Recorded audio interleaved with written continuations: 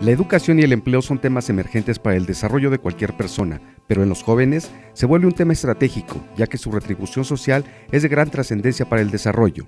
Consciente de la importancia que representa la promoción y fomento de empleos formales en la economía, el Partido Verde del Distrito Federal busca dotar a los habitantes de la Ciudad de México de más y mejores oportunidades de trabajo formal, ya que las estadísticas de desempleo no son nada favorables. En la Ciudad de México eh, tenemos una tasa de desempleo de jóvenes entre 14 y 25 años del 9.7%. Entonces, pues la verdad es que es un número alto que nos preocupa muchísimo en el Partido Verde y que con esta primer feria del empleo que, que estamos organizando queremos que esa tasa disminuya, queremos que la gente vea que estamos preocupados por este gran problema que aqueja no solo a los jóvenes, sino a gran parte de la población del Distrito Federal, habiendo un 6.7% de la población total desempleada. Pero en números redondos, ¿a cuánto asciende ese porcentaje?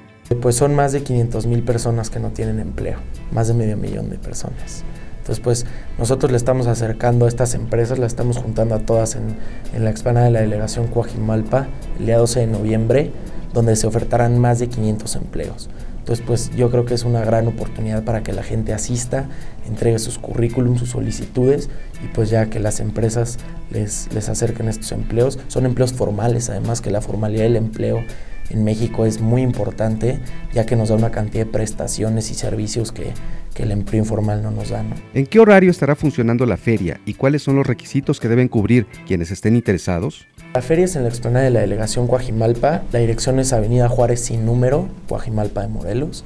Eh, ahí verán en, en, el corredor de la delegación pues todos los stands que tendrán cada empresa. Solamente tienen que llevar una identificación oficial para el registro y poder accesar a la feria.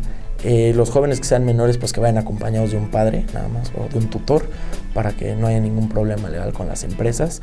Comienza a las 8 de la mañana, yo les sugiero a la gente que llegue un poco más temprano, porque calculamos que habrá una gran, gran afluencia de gente. Y termina pues más o menos a las 5 o 6 de la tarde. ¿Habrá algunos otros servicios que se proporcionarán o solo será la promoción de empleos? Te comento que además de, de estos empleos se van a ofertar cortes de cabello gratuitos para la gente que esté ahí, eh, mastografías gratuitas, exámenes de la vista, jornada médico-asistencial, esto es que asisten médicos, miden la presión arterial, glucosa, todo eso, y también habrá talleres de tecnología doméstica. Los talleres de tecnología doméstica son talleres muy sencillos donde se implementa y se le enseña a la gente a hacer eh, artefactos de uso diario como puede ser el cloro o la gel, ya sea para que ellos los utilicen y reduzcan un gasto en su casa o los comercien. Pero ¿hasta qué punto es difícil organizar una feria de este tipo?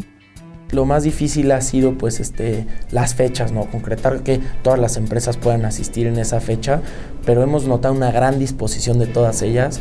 La delegación la verdad es que nos ha apoyado inmensamente. Agradecemos muchísimo al delegado Adrián Rubalcaba y a, y a todo su equipo que nos ha, nos ha prestado el espacio, nos han tratado de ayudar con lo más que se puede.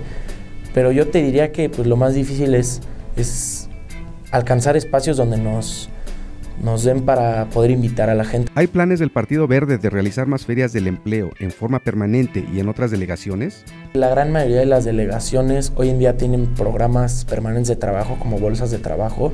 Yo sé que Coajimalpa tiene uno y la delegación Miguel Hidalgo tiene otro y constantemente están haciendo estas bolsas de trabajo para que la gente pues asista. Sin embargo es que ofertan empleos pues para gente de la delegación. La feria que nosotros estamos, estamos construyendo es para todos los habitantes del Distrito Federal. Entonces cualquier persona que vive en el Distrito Federal, sea de la delegación que sea, puede asistir. Así que ya saben, este miércoles 12 de noviembre, a partir de las 8 de la mañana, se realizará la primera feria del empleo en la explanada de la delegación Coajimalpa. El acceso es libre y solo se requieren deseos de trabajar. Para yoinfluyo.com, Antonio Gutiérrez Trejo.